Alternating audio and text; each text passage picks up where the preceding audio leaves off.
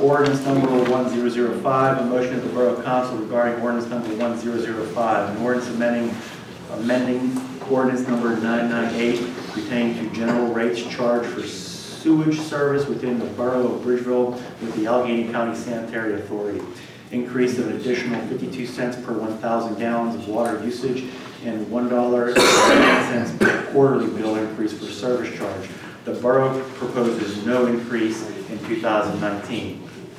ALCOSAN- ALCOSAN's rate in 2018 was $7.42 per 1,000 gallons. The borough's rate was $6.23 per 1,000 gallons for a total of $13.65 per 1,000 gallons.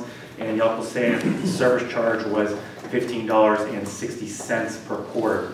The 2019 rates, ALCOSAN's rates will go to $7.94 per 1,000 gallons. The Bridgeville Borough rate will stay at $6.23 per 1,000 gallons with a total of $14.17 per 1,000 gallons.